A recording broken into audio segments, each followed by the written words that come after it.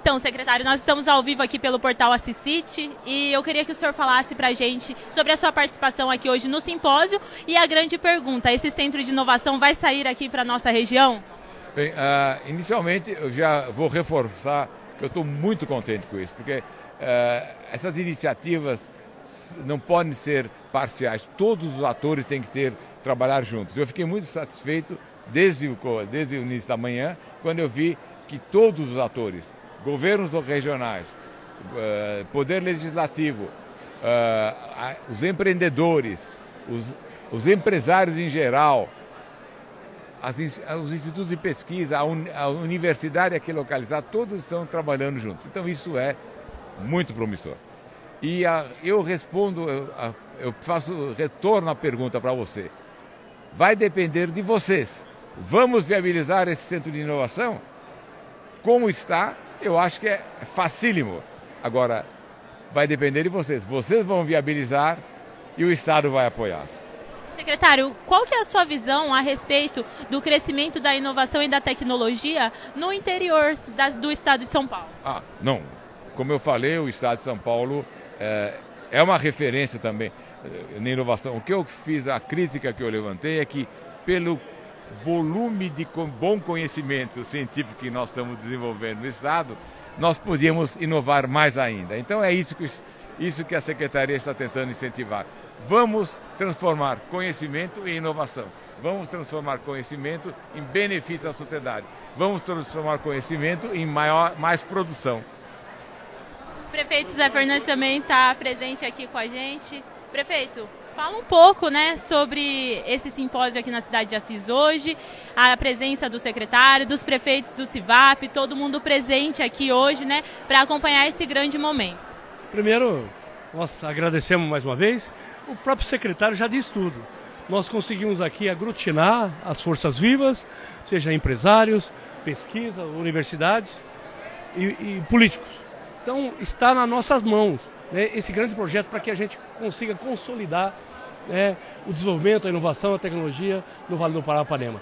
Estamos trabalhando para isso, as, as instituições de pesquisa estão trabalhando para isso, já a, as empresas privadas estão trabalhando para isso e agora é só dar o start para que a gente possa trazer, inclusive o governador, como diz o próprio secretário, para inaugurar aqui um centro de inovação de tecnologia no Vale do Parapanema. Aqui em Assis, nós temos áreas, nós temos espaço, nós já temos meio caminho andado. E agrega muito para a cidade e também para toda a região. É, o processo de evolução é muito grande, né? Nós temos aqui em Assis empresas que estão conseguindo montar e daqui a um, poucos meses vão montar construção em 3D, é um negócio louco, né? Então, a tecnologia ela supera e nós precisamos de tecnologia, de alto valor agregado né, aos nossos produtos. Aqui com a gente também o prefeito Oscar Gozzi, da cidade de Tarumã aí, que também representa, pode representar o CIVAP aqui.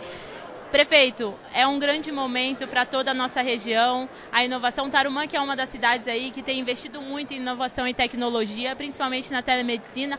Fala um pouquinho para a gente sobre esse simpósio aqui na cidade de Assis hoje e também sobre a presença do secretário, que é muito importante aí para o futuro centro de inovação da nossa região. É uma grande realização do CIVAP, mais todas as instituições envolvidas. É um sonho que está se concretizando, começando a virar realidade de fato. CIVAP que já patrocinou, com apoio do Estado, de um grande diagnóstico sobre desenvolvimento regional, com 10 diretivas, 10 vertentes de desenvolvimento regional.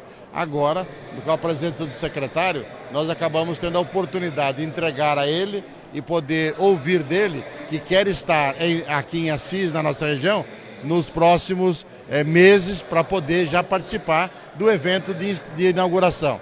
E até dizer ao secretário, que o secretário, até dizer ao secretário que o convite do governador foi estratégico, porque nós queremos o governador na instalação, na inauguração do Centro de Inovação. Se ele vem agora, talvez não viesse na inauguração. Então, agora a gente, o secretário veio, vem manifestar o apoio do Estado e o governador vai virar com certeza na inauguração do nosso Centro de Inovação em Assis, porque o prefeito já disse, já temos área disponível, o prefeito já assumiu esse compromisso com a região e a CIS é a nossa capital regional. Então, o Centro de Inovação, para agregar a região, tem que estar em Assis. Agradecer muito ao prefeito por essa disponibilidade, essa disposição, a Associação Comercial e todas as entidades. Mas com certeza, em breve, nós vamos estar descerrando a placa de inauguração com a presença do secretário e do governador do estado.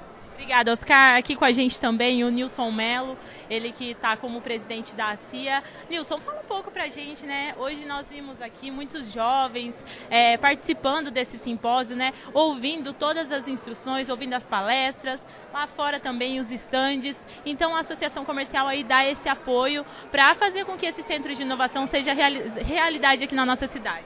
Isso mesmo, esse é o objetivo. Eu acho que a gente começou muito bem é, e o nosso grande desafio é manter essa conexão, é trazer as faculdades, é trazer os empresários, é trazer o investimento para manter o ambiente de tecnologia e inovação funcionando. Então, assim, esse é o primeiro passo, realmente, esse é o nosso sonho de ter em Assis o Centro de Inovação e Tecnologia. E acho que hoje foi é, dado um grande passo e acho que a gente está caminhando forte para construir esse objetivo. Obrigado, Nilson, pela sua participação. Nós estamos ao vivo aqui, deputado. Seja bem-vindo ao portal Assisite. Eu queria que o senhor falasse sobre a sua presença aqui hoje, esse simpósio e principalmente a importância da inovação e da tecnologia para a evolução aí do interior de São Paulo. É, na verdade eu estou aqui porque estou ajudando a organizar, como ajudei a organizar esse evento.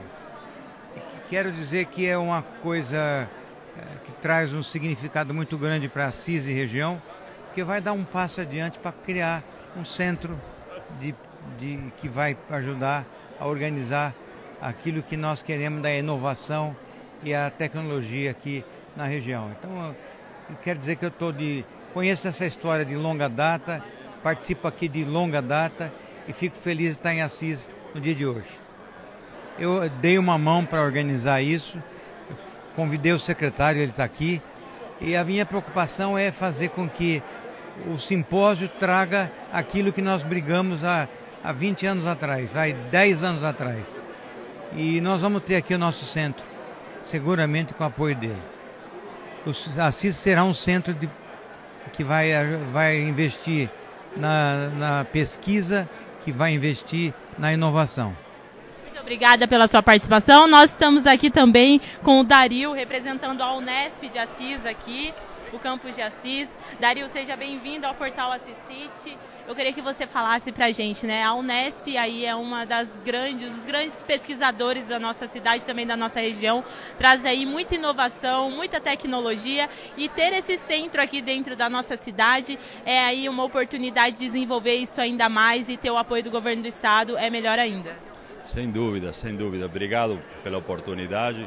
Como você falou, a Unesp é só mais uma das instituições no nosso caso de ensino e pesquisa né, da nossa região, né, temos, temos várias outras, né, FATEC, ETEC, FEMA, eh, enfim, temos SENAI, SESI, né, eh, isso é extremamente importante junto com todos os outros atores, os empresários, o poder público, né, representado pelo executivo, legislativo, a sociedade civil, é, como a gente falou, é um, é um sonho que se faz realidade agora, né, para canalizar essa, essa vontade e essa, e essa capacidade que as nossas empresas, as nossas instituições têm para inovar. Né? Então, é, tudo em prol do desenvolvimento local e regional, tudo em prol de todos os municípios consorciados ao CIVAP, né? Não é isso não é paternidade de um ou outro sozinho, e sim de todos juntos, né?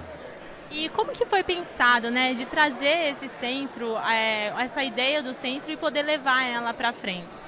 É, a, ideia, a ideia é que o centro venha a, a ser um ponto de, de contato, um ponto de referência para todos esses atores não é um espaço, não é pensado como um espaço exclusivo de alguém, ah, das instituições de ensino e pesquisa, não, ou das empresas, não. É justamente para que esse ambiente seja o canalizador dessas demandas e o encontro da oferta com a demanda para poder resolver problemas reais da nossa sociedade e poder levar isso né, para outras regiões, né, para, o país como um todo e fundamentalmente para o exterior. Como o secretário falou, a, a inovação, os produtos inovadores, eles não são próprios de uma, de uma cidade, de uma região, são do mundo globalizado que a gente está vivendo. Hoje o secretário estadual nos disse uma coisa que é muito importante, né, enquanto políticos, que é a questão de apoiar as boas ações e não atrapalhar. Né?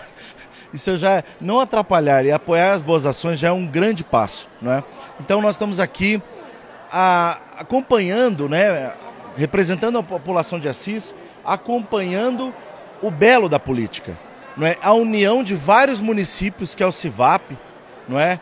As lideranças regionais que o Oscar Gozzi, o prefeito municipal Zé Fernandes, não é? a Ida Françoso, a, a articulação do deputado Mauro Bragato, a iniciativa privada, os empresários, né, de um modo geral, as entidades, a Unesp, o Estado de São Paulo, a, a, a, toda essa, essa engenharia política que trabalha com um foco na, no bem comum, no foco no desenvolvimento da nossa região nós temos hoje um limite, é? e a humanidade vai caminhando é? e precisa empurrar esse limite. Isso se chama inovação. E através da inovação, através desses institutos, unindo forças políticas, é que nos ensina, que nos motiva a fazer é, é, o melhor para a nossa população. Eu acredito que nós não podemos, de forma alguma, fazer tudo sozinho. Não dá para fazer tudo sozinho.